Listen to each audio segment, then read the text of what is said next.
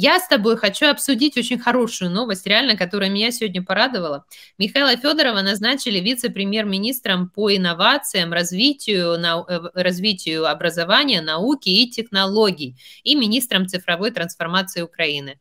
А, потому что когда такого уровня суперпрофессионалы получают еще больше полномочий, они могут еще больше творить добрых дел. Нет, это потрясающее назначение. Вообще Михаил Федоров, я считаю, это лучший э, специалист э, в правительстве за долгие-долгие годы. Э, это блестящий специалист своего дела. То, что он сделал, этому поражаются в Америке и в Европе. Я это точно знаю. Ту же Дию взять. На Западе люди говорят, это, это в Украине родилось. Берут на вооружение идею. Э, он, э, я считаю, что э, Федоров это лучшее кадровое назначение Зеленского за все годы каденции. Я уверен в этом просто. Ну что, та-да-да-дам. Начинаем обсуждать новость сегодняшнего дня. Си, Си, Си Цзиньпин. Ну-ну. Не, ну ты, если ты хочешь, то я с тобой еще трэш пообсуждаю сначала. Хочешь? Трэш какой? Русский трэш. Русский трэш. А что там? Э... У них все это трэш. Истерику Скобеевой, которая увидела, как Максим Галкин, талантливый, остроумный Максим Галкин. А ты знаешь, где, она, где она это увидела, знаешь? Где? У меня в Инстаграме сегодня. Да? А, да. Сегодня или вчера? Она на, твоем, она на твоем Инстаграме сидит. Все понятно. Она не сидит, не сидит, она пасется. Сидеть можно на другом. Она у меня там не сидит, она пасется. Подсыпь ей в траву что-то, чтобы она... Потому уже... что она коза драная, поэтому она пасется.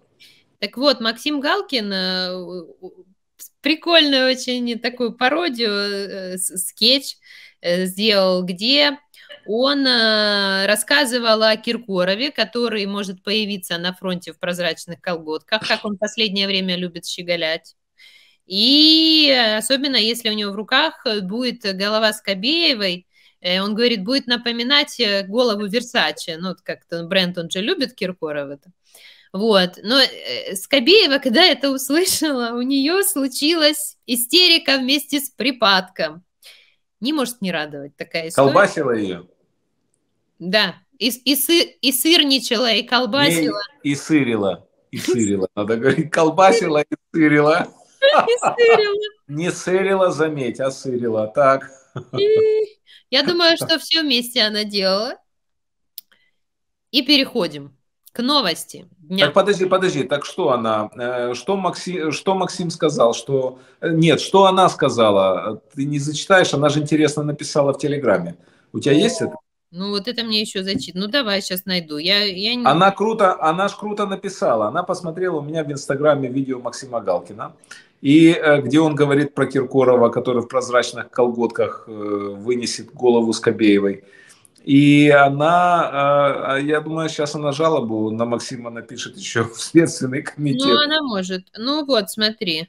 Ну, что она написала, скажи. Ну, она написала, я не буду ее цитировать прямо, я скажу, что тут. Э, ты, ты, ты, э, ну, что он типа гей, то есть он вообще остроумно пошутил, а она начала в порыве рассказывать, что он гей. Причем тут это? Киркоров, что ли? Так мы это и так знаем. Ну-ну, дальше. Да, не, она про Галкина. А, она его не, не просто гей, а он форменный типа раз, ну, то, то, кем является она сама, несмотря на женский пол. Э, оскорбление... Нет, то, что она сказала, это Попов на самом деле, муж ее. Э, да. Э, Ты слушай, знаешь, что он заднеприводный, да? Попов? Да. Он тоже? Так это, это он их семью по карьерной лестнице в Кремле? Не-не-не, смотри, э, Скобеева это же мужик на самом деле. И она дерет Попова, да? Но это все знают. Ой, откуда ты эти новости берешь? Да, да. и она, она Попова называет Афанасий. Его, ну, так она его любит называть, э, у них такая любовная игра, она его называет Афанасий и дерет его. Да. Дерет. Так он козел драный. Ой. Она коза драная, он козел драный. Причем Дима, драный ну, с Копеевой. она его оскорбляет, тут пишет всякие нехорошие слова. Нехорошие не надо. А что она говорит, пишет, что она говорит, жалуется? что это прямой призыв к убийству, расправе О. над ней. Э, э, есть юристы, отзовитесь, которые ее спасут. Все. Ее уже ничего не спасет. Скобееву точно ничего не спасет. Попова еще может что-то спасти, если он скальпель Скобеевой принесет на суд в Гааге. А вот Скобееву не спасет ничего. Разжигание ненависти, поддержка войны, разжигание войны. Она и Соловьев – это две кончиты. В прямом смысле слова кончиты. Мартинес. Ты знаешь, что ты смотрела на Соловьева? Я, я за ним наблюдаю периодически. Он сильно похудел, я думаю, он тяжело болен. Он же был жирный. Ты знаешь, что он в прошлой жизни жиропой был? Он такой кабан был здоровый. Вот. Толстый-толстый. Жир лоснился со щек, спадал просто. А сейчас щеки впали, висит кожа. Посмотрите, друзья, кому интересно, на Соловьева. Он от своей злости и от осознания близкого конца, не у губ, а вообще конца, он сильно похудел. И ты начинаешь, да? Что, доходит с опозданием? Надо реагировать быстрее. Можно. Не тормози, все увидят, что ты подтормаживаешь. Ты что, надо сразу... Это у меня интернет подтормаживает, а не я. Понимать надо, Димочка. А, да. Да, я Жванецкого вспомнил. А, в 90, 90, мы познакомились с Михаилом Михайловичем в 90-м году, в 89-м году, в декабре. В 90-м году, я помню, он мне говорит, что ты надо мной подтруниваешь? Запиши, он говорит. Это не я подтруниваю, аккомпаниатор подтрунивает, а я шучу. Ой, Михаил Михайлович.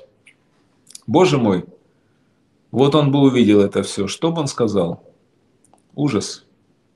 Михаил Михайлович приезжал в Киев и другие украинские города до самой смерти. Вот э, ты хорошо все помнишь, мы всегда встречались с ним. Вот он выходил на сцену, зал вставал, ты помнишь? Война шла уже на Донбассе, Крым аннексировали они. Он приезжал каждый год по два раза. И он выходил со своим стареньким, видавшим виды портфельчиком.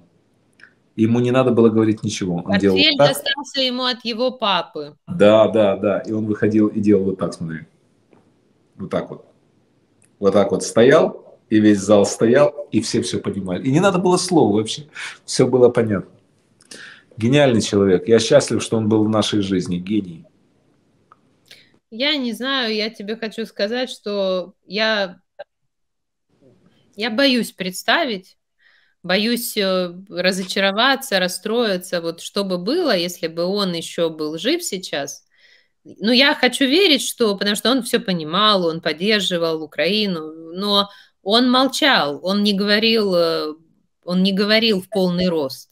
Он жил Олеся, в России, он продолжал. поддержать, он поддержать это не мог бы. Нет, я, ну, я, я надеюсь, что поддержать нет, но, понимаешь, после 24 февраля 22 года даже молчание – это уже недостаточная мера некоторых.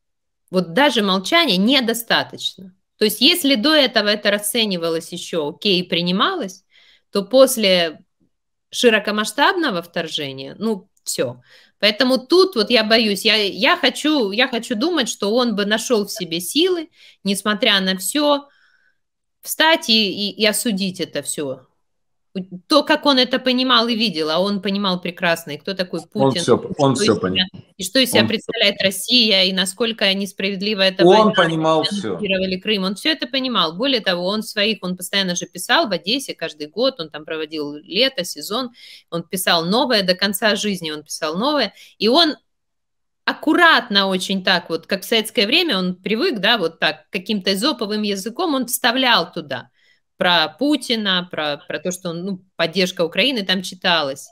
Но после 24 февраля вот этого уже недостаточно. Поэтому вот я для себя, я не знаю. Я не знаю. Знаешь, я увидел, э, мы про э, Михаила Михайловича заговорили, про Одессу. Я сразу вспомнил фильм «Ликвидация» почему-то и подумал про Машкова. На днях э, я увидел видео Машкова, Какое же падла, какие он стих, он с таким пафосом, глаза горят, читает стихи против Украины, страшные, отвратительные. Боже, какой фашист. Ты представляешь, такой прекрасный актер оказался банальным русским нациком, фашистом. Кошмар. Кошмар. Гори он в аду, этот Машков, передаю ему привет, чтобы он сдох там уже. Как они, как они, я сейчас подумал, вот сказал, чтобы он сдох. Повторю, чтобы он сдох, чтобы они все сдохли. Кто Украине причинил вред, кто убивал наших людей, кто призывал убивать наших людей, кто эти стихи подметные читает. Сдохните все, ненавижу вас. Всех ненавижу.